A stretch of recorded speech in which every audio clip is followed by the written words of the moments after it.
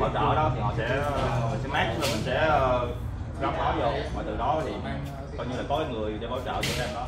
Thì ví dụ như trung bình mỗi em về khoảng ờ, bốn trăm rưỡi tinh thần nó vậy đó. Gieo cái nó giống như gieo cái cái nó như cái giống vậy đó.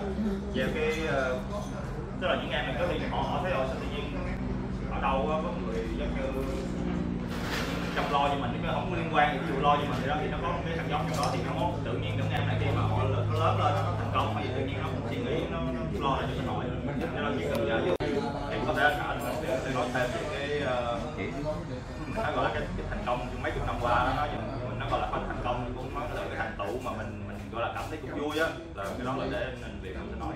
Ngoài ra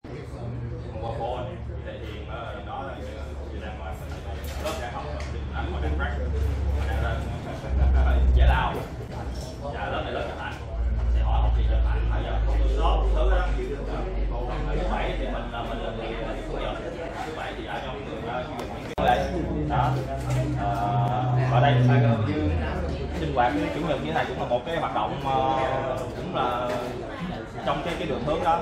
Thì đó là thôi tóm tắt đó là như vậy. Thì nếu mà chị nào có hỏi thêm hay là muốn biết hay thì mình có nói thêm của mình, không biết để khi mình tới chơi mình cũng biết là cái hội này có những cái sinh hoạt vậy đó. Chúng ta ở đây ờ, mình uống cà phê và mình ờ, ăn ăn ngồi ăn. Có đọc có bánh ờ, mứt bánh này kia nữa. Thì ờ, mục đích cái sinh hoạt ở đây là chúng ta tới đây chúng ta đã hàng nguyên vậy thôi, không có gì hết á. Và mấy người này học ở đây tôi nghĩ rằng sẽ dĩ mình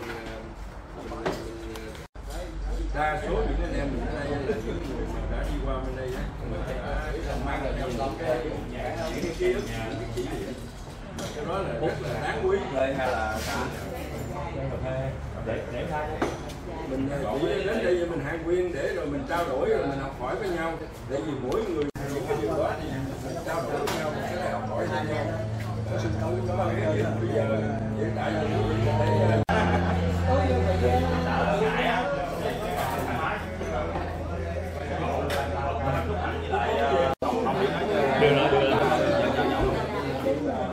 nhưng mà nó nó ở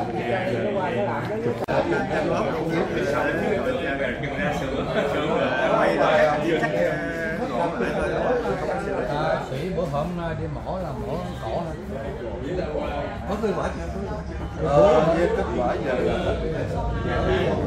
muốn làm lúc mà nó thử ba bác sĩ á nó nói là cancer nó nói là thử ba bác sĩ lúc mổ ra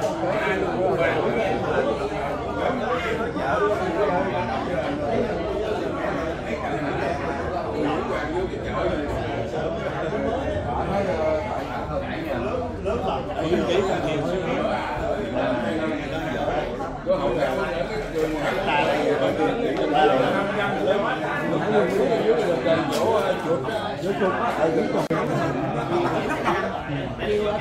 bây giờ là cái không có cho cái